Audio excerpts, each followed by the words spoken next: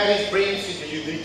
अनि दोस्रो कुरा चाहिँ विवाहले एकता ल्याउँछ Unity has a strength. अनि एकतामा जहिले पनि बल हुन्छ Bible says one can say one thousand, बाइबलले भन्छ एकजनाले एक हजारलाई लखेट्न सक्छ two can say ten thousand. अनि दुई हजारले चाहिँ दसौँ हजारलाई There's लखेट्न a सक्छ great power in unity. अनि एकतामा एकदमै ठुलो शक्ति हुन्छ When husband and wife they come together, जब श्रीमान र श्रीमती एक हुन्छन् when they pray together, जब उनीहरू When they kneel down before the Lord together, when they set their ears together in the Lord, when they struggle together, when they move the Lord together, when they do the things for the Lord, God's glory together,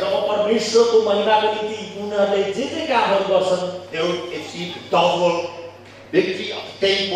अनि उनीहरूले चाहिँ दोबर अनि दसौँ कुरा चाहिँ त्यसको आशिष पाउनेछ। The. कुरा परमेश्वरको वचन Ecclesiastes 4, 4 12. उपदेश चारको बाह्रले भन्छ Though one may be overpowered, एकजनाले चाहिँ जित्न सक्छ विजय गर्न सक्छ।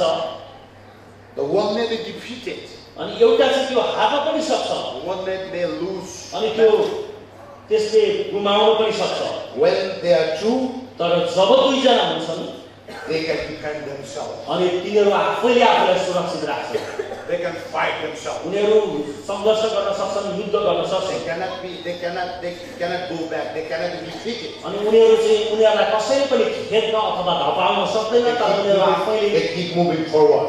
अगाडि बढिरहन सक्छन् It means the unity brings the strength and power. अनि उनीहरूको एकताले उनीहरूमा शक्ति र एकता ल्याउँछ And the word of God says, For the core of three strands is not quickly broken. अनि अ, परमेश्वरको वचनले भन्छ तिन सुताले बाटेको डोरी चाहिँ फुटिँदैन It's that's too strong to be broken.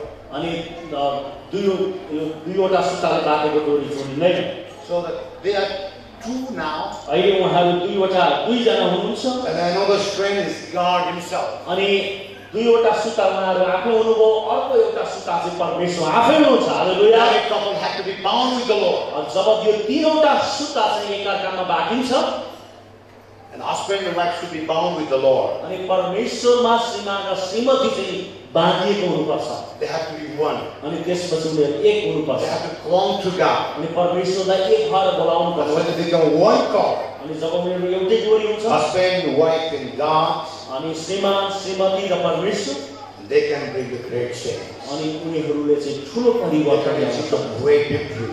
अनि ठुलो विजय ल्याउन सक्छन् They can be the example of the society. अनि समाजमा एउटा उदाहरण बन्न सक्छन्. हालेलुया